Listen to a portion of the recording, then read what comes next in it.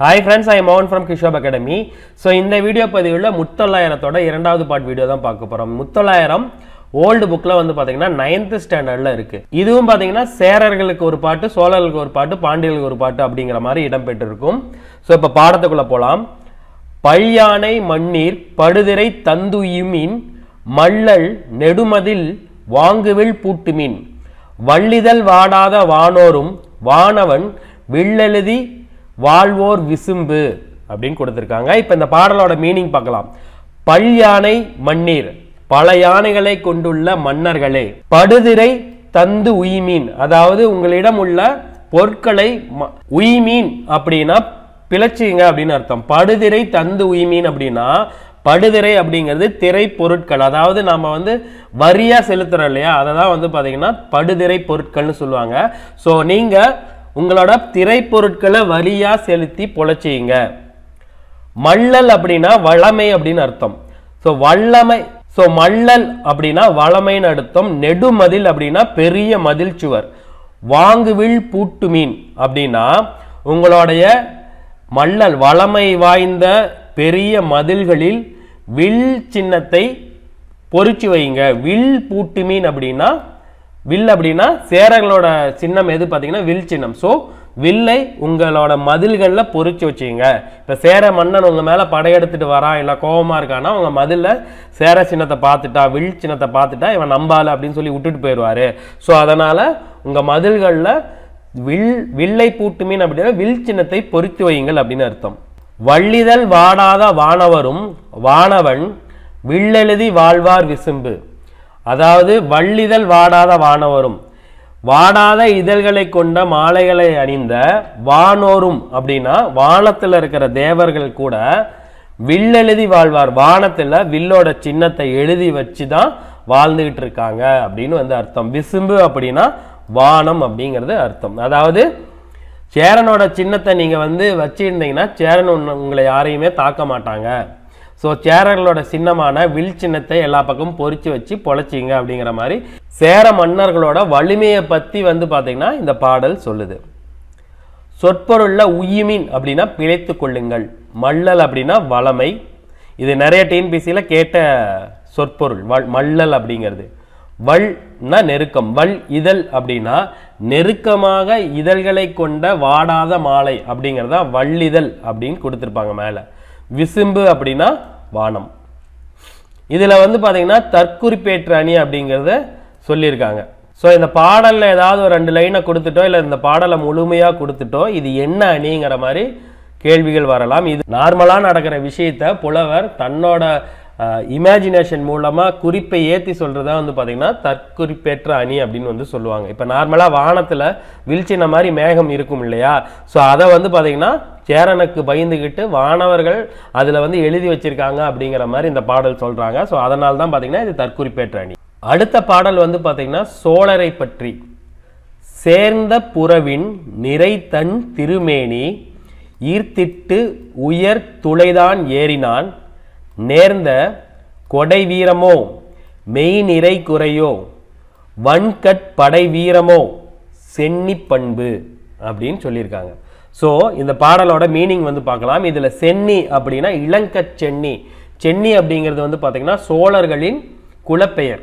அதாவது சோழன்னு முடிகிற மாதிரி இலக்கச் சென்னி அப்படிங்கிற மாதிரியும் முடியும். இப்போ சேரர்களுக்கு சில பேர் கொடுத்துருப்பாங்க இல்லையா? மாறன் வழுதி அந்த மாதிரி சென்னி அப்படின்னாலும் சோழனை தான் குறிக்கும். சேர்ந்த புறவின் நிறை தன் திருமேனி. அதாவது ஒரு வரலாற்று கதை ஒன்று இருக்குது சோழர்களோட பண்புக்கு வரலாற்று கதை ஒன்று இருக்குது ஒரு சோழ மன்னன் என்ன பண்ணுவார் அப்படின்னா போயிட்டு இருக்கும்போது ஒரு வேடன் ஒரு புறாவை வந்து அடிப்பார். அந்த புறா அப்படியே அடிபட்டு அப்படியே சோழர் சோழரோட மடியில் வந்து விழுந்துரும். அந்த புறாவை வந்து அப்படியே துரத்திக்கிட்டு வந்த வேடன் என்ன பண்ணுவான்னா ஐயா இந்த மாதிரி நான் அடித்த புறா எனக்கு இது வேணும் அப்படின்னு சொல்லி கேட்பாரு ஏப்பா இந்த புறா வந்து அடிபட்டு ஏன்ட்ட அடைக்கலமாக வந்திருக்கு. அதனால் நான் இதை தர முடியாது அப்படின்னு வந்து சோழர் வந்து சொல்லுவார். அதுக்கு அந்த வேடன் இல்லை இதை கொண்டு போய் தான் நான் வந்து சமைச்சு சாப்பிடணும். எனக்கும் என் குடும்பத்துக்கும் இதை வச்சு தான் சமைச்சு சாப்பிடணும் அப்படின்னு சொன்ன உடனே அதாவது இவர் காட்டுக்கு போயிருப்பார். காட்டில் சில நாட்கள் வந்து பார்த்திங்கன்னா மன்னர்கள் வாழும்போது அப்போ அவர்கிட்ட பொருள் இருக்காது இல்லையா? ஸோ உடனே என்ன பண்ணுவார்? சரி இந்த இடத்துல நானும் வேறு எந்த உயிரையும் கொல்ல வேணாம். என்னோட கறியவே நான் அறுத்து தரேன்.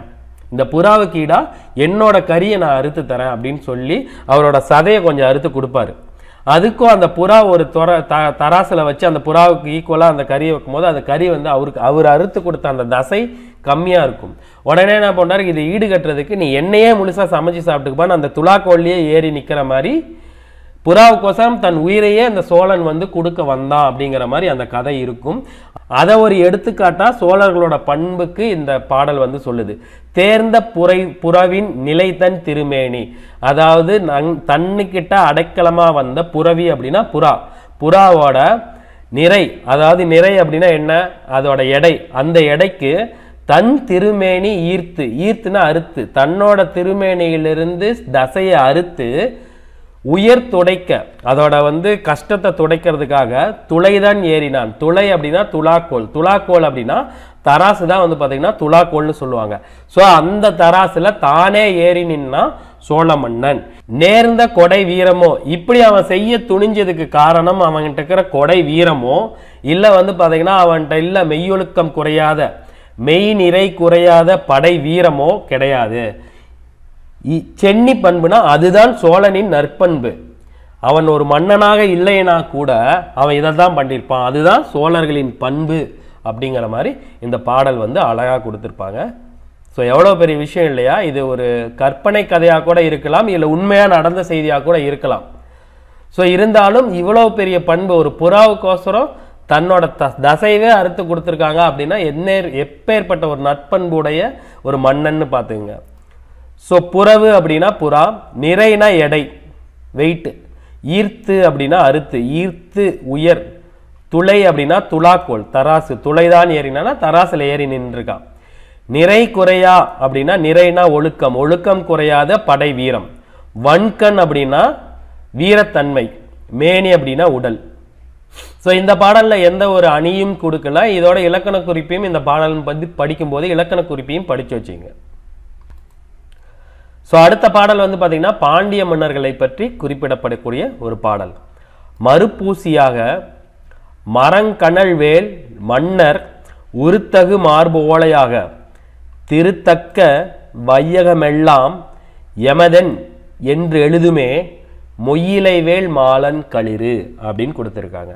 ஸோ இதில் வந்து பார்த்தீங்கன்னா மறுபூசியாக மரங்கண் வேல் மன்னர் அதாவது ஒரு யானை தன்னோட தன்னங்களையே ஒரு ஊசியாக கொண்டு உருத்தகு மார்போலையாக எதிரிகளோட மார்பையே ஓலையாக வந்து அந்த யானை வந்து எழுதும். என்னன்னு எழுதும் அப்படின்னா திருத்தக்க வையகமெல்லாம் எமதன் என்று எழுதுமே. அதாவது இந்த உலகத்தில் இருக்கிற எல்லா நாடுகளுமே என்னோட பாண்டியனோட நாடு அப்படின்னு எழுதும் அப்படின்னு சொல்லியிருக்காங்க. அதாவது இப்போ போர் இப்போ வந்து ஒரு போர்ப்படைக்கு வந்து போகிறாங்க போர்ப்படைக்கு போகும்போது அந்த யானைப்படை வந்து பார்த்தீங்கன்னா பாண்டியர்கிட்ட வலிமையான யானைப்படை. அந்த யானைப்படை எதிரிகளை கொல்லும்போது தந்தத்தில் தான் மார்பில் குத்தி கொல்லும். அதை இது எப்படி சொல்கிறாங்க அப்படின்னா அந்த எதிரி நாட்டு மன்னர்களோட மார்பையே ஓலையாகவும் அந்த யானையோட தந்தத்தையே ஊசியாகவும் கொண்டு இந்த நாடு என்னுடைய நாடு இங்கிருக்கும் எல்லா வையகத்தில் உள்ள நாடு எல்லாமே என்னோட பாண்டிய மன்னனுக்கான நாடு அப்படின்னு அதில் அந்த குத்துறதே எழுதுறது மாதிரி அப்படியே வந்து உருவகப்படுத்தி சொல்லியிருக்கிறாரு கவிஞர். இல்லை மொயில வேல் அப்படின்னா இலை போன்று நெருக்கமாக அமைந்த வேலை உடையவன் அப்படின்னு வந்து சொல்லியிருக்காங்க. இலை எப்படி கூர்மையாக இருக்கும் பார்த்தீங்களா அந்த மாதிரி வேலை கொண்ட பாண்டியனோட மாறன் களிர் அப்படின்னா மாறன் அப்படிங்கிறது பாண்டியர்களை மாறன்னு சொல்லுவாங்க. நின்ற சீர் நெடு மாறன்னு சொல்லுவாங்க இல்லையா? அது மாதிரி மாறன் அப்படிங்கிறது அவங்களோட குலப்பெயர். களிர் அப்படின்னா உங்களுக்கு தெரியும். ஆண் யானையை தான் வந்து களிர்னு வந்து சொல்லுவாங்க. ஸோ நார்மலாக போரில் நடக்கிற விஷயத்த அந்த யானையோட தந்தத்தை ஊசியாகவும் எதிரிகளின் மார்பை ஓலையாகவும் உருவகப்படுத்தி புலவர் வந்து பார்த்திங்கன்னா சொல்லியிருக்காரு. அதனால் வந்து பார்த்திங்கன்னா இந்த அணி இதில் பயின்று வர அணி உருவக அணி. இந்த பாடலை கொடுத்துட்டு இதில் என்ன அணி வருது அப்படின்னு கூட கேள்விகள் கேட்கலாம். ஸோ இதில் வந்து பார்த்திங்கன்னா மறுப்பு ஊசியாக மறுப்பு அப்படின்னா தந்தம் ஊசி அப்படின்னா எழுத்தாணி. அப்போ வந்து பார்த்தீங்கன்னா ஓலையில் எழுத்தாணி வச்சு தான் எழுதுவாங்க இல்லையா? ஸோ அதை வந்து பார்த்தீங்கன்னா ஊசியிலும் எழுதுவாங்க ஆணியிலும் எழுதுவாங்க. ஊசி அப்படின்னா எழுத்தாணி. மரங்கணல் அப்படின்னா வீரம் மிகுந்த வேள். கணல் அப்படின்னா நெருப்பு. மரங்கணல் அப்படின்னா வீரம் தீ மாதிரி எரியிற வேலை கொண்ட அப்படிங்கிற மீனிங் திருத்தக்க அப்படின்னா அழகு அமைந்த அப்படின்னு அர்த்தம். வையகம்னா உங்களுக்கு தெரியும் உலகம். மொய்யிலை அப்படின்னா நெருங்கி அமைந்த இலை. மாறன் அப்படின்னா பாண்டிய மன்னன். களிறு அப்படின்னா யானை. ஸோ இதுலேயும் வந்து பார்த்தீங்கன்னா நூற்குறிப்பு கொடுத்துருக்காங்க. மூவேந்தர்களை பற்றி மூன்று தொள்ளாயிரம் பாடல்களை கொண்டது அப்படின்னு கொடுத்துருக்காங்க. பழைய புக்கில் வந்து பார்த்தீங்கன்னா மூன்று தொள்ளாயிரம்னு கொடுத்துருக்காங்க. புது புக்கில் வந்து பார்த்தீங்கன்னா மொத்தமாக தொள்ளாயிரம்னு கொடுத்துருக்காங்க. ஸோ இதுலேயும் தெளிவாக இல்லை அதுலேயும் தெளிவாக இல்லை. நீங்கள் ஆப்ஷனை பார்த்து போட்டுங்க ஒருவேளை வந்து பார்த்தீங்கன்னா மூணு ஒம்பது எவ்வளவு? இருபத்தி ஏழு. ஸோ ரெண்டாயிரத்தி எழுநூறு பாடல்களா? இல்லை தொள்ளாயிரம் பாடல்களான்னு வரும். ஸோ பழைய புக்கில் வந்து பார்த்தீங்கன்னா மூன்று தொள்ளாயிரம் பாடல்கள் அப்படின்னு கொடுத்துருக்காங்க. ஆனால் புது புக்கில் வந்து பார்த்தீங்கன்னா தொள்ளாயிரம் பாடல்கள் மட்டும் கொடுத்துருக்காங்க. ஸோ இது வந்து பார்த்திங்கன்னா நம்ம தர்க்கத்துக்கு எடுத்துக்க முடியாத ஆப்ஷனை பார்த்து போட்டுக்க வேண்டியதுதான். இந்த நூல் முழுமையாக கிடைக்கவில்லை. புறத்திருட்டு என்னும் நூல் வழியாக நூற்றி எட்டு வெண்பாக்களும் பழைய உரை நூல்களில் மேற்கோள்களாக இருபத்தி ரெண்டு வெண்பாக்களும் கிடைத்துள்ளன. ஸோ இதில் வந்து பார்த்தீங்கன்னா தெளிவாக கொடுத்துக்கலாம். முடிஞ்ச வரைக்கும் நம்ம பழைய புத்தகங்களில் இருக்கிற நூற்குறிப்பு எடுத்துக்கிறது தான் நல்லது. ஏன் அப்படின்னா புது புக்கில் வந்து பார்த்தீங்கன்னா மொத்தமாக நூற்றி எட்டு தான் கிடச்சிருக்கு அப்படின்னு சொல்லியிருப்பாங்க. இதில் வந்து பார்த்தீங்கன்னா மற்ற நூல்களில் இருபத்தி ரெண்டு வெண்பாக்கள். மொத்தமாக எவ்வளோன்னு வந்து பார்த்தீங்கன்னா நூற்றி முப்ப நூற்றி முப்பது வருது. சரிங்களா? ஸோ இதை நீங்கள் எடுத்துங்க. மேற்கோள்களாக பழைய உரை நூல்களில் மேற்கோள்களாக எத்தனை நூல் அப்படின்னு பார்த்தீங்கன்னா இருபத்தி ரெண்டு வெண்பாட்கள். ஆனால் மொத்தமாக புறத்திருட்டு நூல்கள் வாயிலாக கிடைத்தது வந்து பார்த்தீங்கன்னா நூற்றி எட்டு தான். ஸோ எப்படி வருதோ அதுக்கேற்ற மாதிரி தான் நம்ம எழுதி ஆகணும். மூவேந்தர்களின் ஆட்சி சிறப்பு படை சிறப்பு போர்த்திறன் கொடை முதலிய செய்திகளை பாடல்கள் விளக்குகின்றன. இது கூட கேள்வியாக வரலாம். மூவேந்தர்களின் ஆட்சி சிறப்பையும் படை சிறப்பையும் போர்த்திறத்தையும் சொல்லும் செய்தி என்ன அப்படிங்கிற மாதிரி கூட கேள்வி வரலாம். சிறந்த இலக்கிய நயமும் கற்பனை வளமும் நிறைந்த நூலாக முத்தொள்ளாயிரம் காணப்படுகிறது. இது நூலின் ஆசிரியர் பெயர் தெரியவில்லை. இது ஆல்ரெடி நம்ம கேள்விப்பட்டதுதான். ஸோ இதில் நமக்கு முக்கியமாக எடுத்துக்கொள்ள வேண்டிய பாயிண்ட்டு பழைய உரைநூல்களில் மேற்கோளாக இருபத்தி ரெண்டு வெண்பாக்கள் கிடைத்துள்ளனன்னு கொடுத்துருக்காங்க. இது ரொம்ப முக்கியம். ரெண்டையும் பக்கத்தில் பக்கத்தில் வச்சு படிச்சிங்க. ஆனால் ரொம்ப கன்ஃபியூஸ் பண்ணிக்காதீங்க. புது புக்கில் வெறும் தொள்ளாயிரம் பழைய புக்கில் வந்து பார்த்தீங்கன்னா மூன்று தொள்ளாயிரம்னு கொடுத்துருக்காங்க. ஒருவேளை இதுதான் சரியானதாக கூட இருக்கலாம். சரிங்களா? ஸோ அது நம்ம ஆப்- எப்படி ஆப்ஷன் வருதோ ஒருவேளை தொள்ளாயிரத்தையும் ஆப்ஷனில் வைக்க மாட்டாங்க ரெண்டாயிரத்தி எழுநூறையும் ஆப்ஷனில் வைக்க மாட்டாங்க. ஏதாவது ஒன்று தான் வைப்பாங்க. அதுக்கேற்ற மாதிரி எழுதிங்க. சரிங்களா? ஸோ இதில் வந்து பார்த்தீங்கன்னா இதோட இந்த முத்தொள்ளாயிரம் பாடல் முடியுது. இந்த வீடியோ உங்களுக்கு பயனுள்ளதாக இருக்கும்னு நினைக்கிறேன். இதே மாதிரி அடுத்த வீடியோ பதிவில் நாம் சந்திப்போம். தேங்க்யூ